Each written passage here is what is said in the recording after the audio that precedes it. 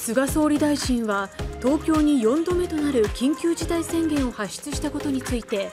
夏休みやお盆の時期の人出を抑制する必要性を訴え理解を求めました。夏休みやお盆の中で多くの人が地方へ移動することが予想されます。ここで再度東京を起点とする感染拡大を起こすことは絶対に避けなければなりません。政府は東京に4度目となる緊急事態宣言を出しました。また沖縄にも発出中の宣言や埼玉、千葉、神奈川、大阪に出されているまん延防止等重点措置についても来月22日まで延長します。一方北海道などに適用中のまん延防止は予定通り11日で解除します